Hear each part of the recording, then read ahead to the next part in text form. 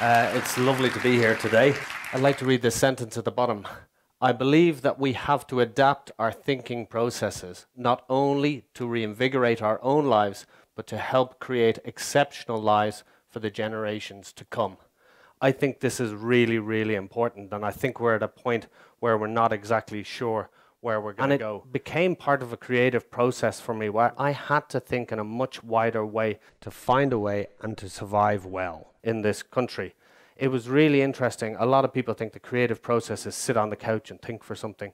It's not that way. It's about trying it, trying it again, completely failing, learning it. Creative people don't come up with ideas straight away. They actually dismiss other ideas very quickly. So they're used to new ideas, they get 10 of them in their head, and nine of them they dismiss immediately because they know they won't work. Because why? They've, they've failed at and what's before. different about kids when they cr do creative things is you give them an idea and they just sort of put that idea there and it doesn't have to link into anything because they know they don't have all the information. As adults, we often make the mistake of having to link it into something. If it doesn't link in, we disregard it. I found that this, for me, couldn't work here. I had to leave things open because I didn't have solutions to them. So in that way, I developed a much faster way, I think, of thinking and finding different solutions in different areas for me. Many of them weren't solutions at the time, but they turned out to be solutions later. Uh, the first time I got to change the baby, it was a bit of a shock for me because I was trying to put the nappy here and the baby here, but then I went to throw that away and the bin was out there. And, you know, I'm not sure Punitza or Punats or who had set it up, but somebody had set it up and nothing was where I needed to be. It took 12 minutes. It was a disaster. The baby looked like MC Hammer with the hat hanging down and everything coming out. I was not a happy camper, and trust me, my son was not happy either. So, in the end of the day, I, I almost had to get my foot on top of him to reach the stuff on the other side. I redesigned it. I remembered a part, my instinct connected former part of my life when I worked as a waiter in America.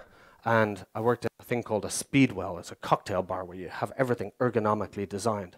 So I redesigned the baby, changing area just like a cocktail bar. So instead of having your triple sec and your vodka and your gin and your whiskey up there, you had the nappies and the powder and all that different thing. So basically, you could just make a really quick cocktail of the baby. And in two minutes, he was done. He didn't know what happened.